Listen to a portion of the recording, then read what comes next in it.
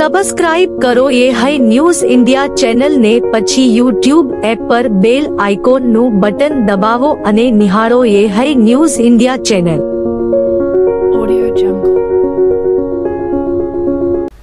Banaskantha જિલ્લાના અમીરગઢ તાલુકામાં દિન પ્રતિદિન વધતી જતી ટ્રાફિકની સમસ્યા એવું લાગી રહ્યું છે કે ટ્રાફિક પોલીસ શોભાના ગાંઠિયા બરાબર હોય તેવું લાગી રહ્યું છે. વાત કરવામાં આવે તો અમીરગઢ તાલુકાની મેન બજાર ચાંદની ચોકથી આગળથી જતો મામલદાર કચેરી સુધીનો રસ્તો રોજબરોજ ગમે ત્યારે ટ્રાફિકની સમસ્યા જોવા મળે છે અને રાહદારીઓ હેરાન પરેશાન થાય છે. જ્યારે અવારનવાર અહેવાલ પ્રસિદ્ધ કરવામાં આવ્યા હોવા છતાં આનો કોઈ નિર્ણય આવતો નથી. અમીરગઢ, ઇકબાલગઢ જેવા બજારોમાં રોજબરોજ ટ્રાફિકની સમસ્યા હોય છે. જ્યારે જિલ્લા પોલીસ વડા અધિકારી ટ્રાફિકની સમસ્યા નો નીવડો લાવે તેવી લોકમાંગ ઉઠી છે.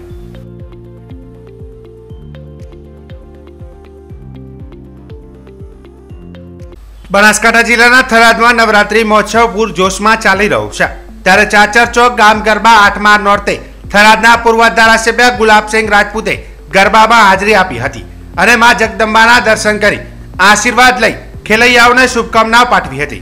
તેમજ બનાસ બેંકના ડિરેક્ટર શૈલેષભાઈ પટેલ, રાજપૂત સમાજના પ્રમુખ અને રાજકીય અગ્રણી ડીડી રાજપૂત તેમજ નગરપાલિકાના પૂર્વ પ્રમુખ પથુસિંહ રાજપૂત, થરાદ મામલતદાર વસંતભાઈ પટેલ, ભારત વિકાસ પરિષદના પ્રમુખ થાનાજી રાજપૂત, ચાચર ચોક ગામ ગરબાના સભ્યો દ્વારા થરાદના પૂર્વ ધારાસભ્ય ગુલાબસિંહ રાજપૂત, શૈલેષભાઈ પટેલ, મામલતદાર વસંતભાઈ પટેલ, પથુસિંહ રાજપૂત, થાનાજી રાજપૂતનું સન્માન કરવામાં આવ્યું હતું. અને આઠમા નોરતે મોટી સંખ્યામાં ખેલૈયાઓ મોડી રાત સુધી ગરબાની રમઝટ બોલાવી હતી.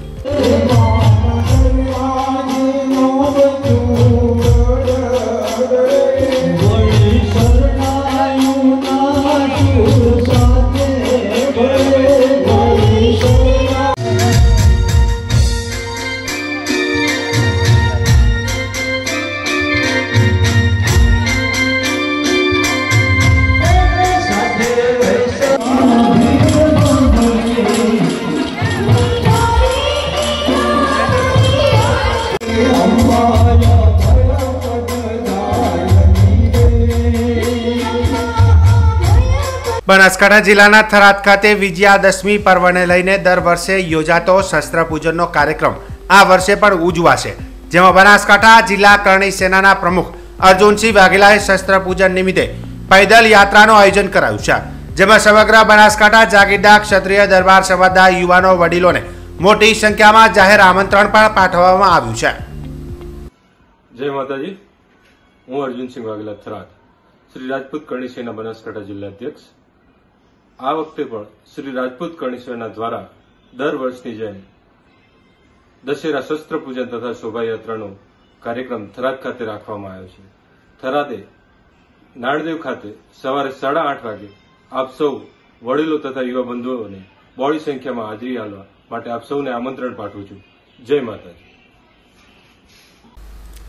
બનાસકાંઠા જિલ્લાના દિયોદરના સાલપુરા ગામના ચૌહાણ કુળ દ્વારા નવરાત્રિની આઠમની રાત્રે મહાઆરતીની સાથે એકાવન ગરબા માથે લઈને ગરબે રમે છે. આજના આધુનિક યુગમાં ખેલૈયાઓ ગરબે ઘૂમતા જોવા મળે છે. ત્યારે દિયોદરના ગ્રામીણ વિસ્તારોમાં વર્ષો જૂની પરંપરા આજે પણ યથાવત જોવા મળી રહી છે.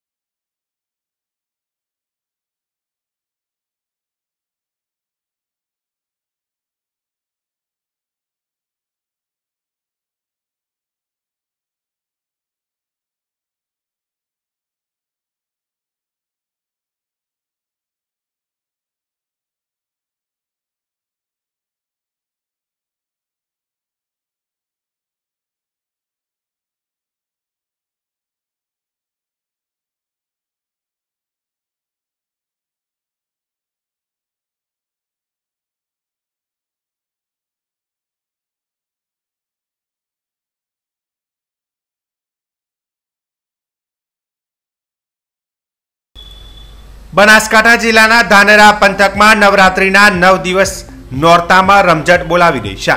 મા પાવા તે ગઢથી ઉતર્યા. મહાકાળી રે. ના તાલે ગરબાની રમઝટ જોવા મળી હતી. જ્યારે નવરાત્રિ આઠમનો મહિમા અનેરો જોવા મળી રહ્યો છે. આ દિવસે ઠેર ઠેર મંદિરોમાં યજ્ઞ હવન કરવામાં આવ્યું છે અને નવરાત્રી ગરબામાં મહાઆરતીનો કાર્યક્રમ પણ રખાય છે. આજે ધાનેરા લાદાપુરા વિસ્તારમાં ગરબાની દર વર્ષની જેમ મહાકાળી માતાના વેશભૂષા કાર્યક્રમ યોજાયો હતો. આ દિવસે અનેક પ્રકારના કાર્યક્રમ યોજાય છે, જેમાં ગરમ સાકળ દ્વારા શરીર પર ચાપકા મારવા, એકસો આઠ દીવાના ગરબા તેમજ મહાકાળી માની વેશભૂષામાં કલાકાર દ્વારા મહાકાળી સ્વરૂપમાં ગરબે ઘૂમી અલગ અલગ પ્રોગ્રામો કરાયા હતા. લોકોનું કહેવું છે કે આજે મહાકાળી માતાજી સાક્ષાત આવી ગરબે રમે છે. આજના ગરબા જોવા દૂર દૂરથી લોકો આવ્યા હતા અને મોટી સંખ્યામાં લોકો મોડે સુધી આઠમના ગરબા જોવાનો લાભ લીધો હતો.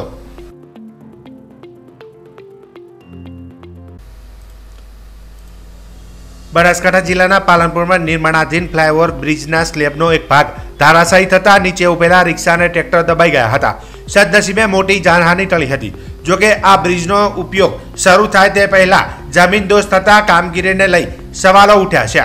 પાલનપુરના આરટીઓ સર્કલ પાસે નિર્માણાધીન ઓવરબ્રિજના સ્લેબનો ભાગ ધારાશાયી થયા હોવાની જાણ થતા બનાસકાંઠા કલેક્ટર એએસપી સહિતનો પોલીસ કાફલો ઘટના સ્થળ પર પહોંચ્યો હતો. બીજી તરફ ફાયર બ્રિગેડની ટીમે પણ ઘટનાસ્થળ પર પહોંચી કાટમાળ ખસેડવાની કામગીરી હાથ ધરી હતી. જો કે આ સમગ્ર મામલે આજુબાજુમાંથી સીસીટીવી ફૂટેજ સામે આવ્યો છે, જેમાં બ્રિજ નીચે રિક્ષા ચાલક પર બ્રિજ તૂટી પડ્યો હતો. જો કે કાટમાળમાં નીકળતા રિક્ષા ચાલકની લાશને બહાર કઢાઈ છે. નોંધનીય છે કે કેન્દ્ર સરકારે એકસો પચીસ કરોડના ખર્ચે three leg elevated rotary railway overbridge મંજૂર કર્યો હતો, જેમાં પાલનપુરથી એજન્સીને નેવું કરોડના ખર્ચે બ્રિજ બનાવવાનું કામ મંજૂર થયું હતું. આ બ્રિજ અઢાર મહિનામાં પૂર્ણ કરવા માટે જણાવ્યું હતું. જે દાતા તરફથી છસો બ્યાસી મીટર લાંબો, આંબુ રોડ તરફ સાતસો મીટર લાંબો અને પાલનપુર અમદાવાદ હાઈવે તરફ નવસો એકાવન મીટર લાંબા ત્રણ લેક બનાવવામાં આવ્યા છે. ગુજરાતનો પ્રથમ પિલ્લર પર થ્રી લેક એલિવેટેડ રોટરી ડિઝાઇનનું રેલવે ઓવરબ્રિજ સ્ટ્રક્ચર તૈયાર કરવામાં આવ્યો છે અને હવામાં અઢારથી વીસ ફૂટ ઉપર કોઈપણ સર્કલ બનાવવામાં આવ્યું છે. જો કે આ સમગ્ર મામલે વડગામ કોંગ્રેસના ધારાસભ્ય જિગ્નેશ મેવાણીએ ગુનેગારોને ન છોડી તાત્કાલિક પગલાં ભરવામાં આવે તેવી માંગ કરી છે. માર્ગ અને મકાન વિભાગની ભ્રષ્ટ નીતિના કારણે, કૌભાંડ આચરવાની નીતિના કારણે આજે બનાસકાંઠા જિલ્લાના પાલનપુર શહેરમાં આરટીઓ સર્કલ પાસે ફરી એક બ્રિજ કોલેપ્સ થયો છે, પડી ગયો છે. અનેક લોકોના જીવન જોખમમાં મુકાય એવી પરિસ્થિતિનું નિર્માણ થયું છે. બનાસકાંઠા જિલ્લાની અંદર નર્મદાની કેનાલમાં ભ્રષ્ટાચારના કારણે વારંવાર ગાબડા પડ્યા છે, છતાં તંત્ર દ્વારા કોઈની સામે એફઆઈઆર કરવામાં આવતી નથી, ધરપકડ કરવામાં આવતી નથી, એ કોન્ટ્રાક્ટરોની ચોકડી પણ મારવામાં આવતી નથી અને આ બેદરકારી ભર્યા વર્તન અને વલણના કારણે જ કોન્ટ્રાક્ટરો, બિલ્ડરો અને માર્ગ અને મકાન વિભાગના મળતિયાઓ એ બેફામ બન્યા છે અને ભ્રષ્ટ રીતે કામ કર્યું હોવાના કારણે આ બ્રિજ કોલેપ્સ થયો છે. બનાસકાંઠાની જનતાને અપીલ કરું છું કે બે હજાર ચોવીસની ચૂંટણીમાં આવા ભ્રષ્ટાચારી તત્વોને તમે જાકારો આપો. કમલમની ઓફિસો એ અદ્ભુત બને છે, ટકાટક બને છે.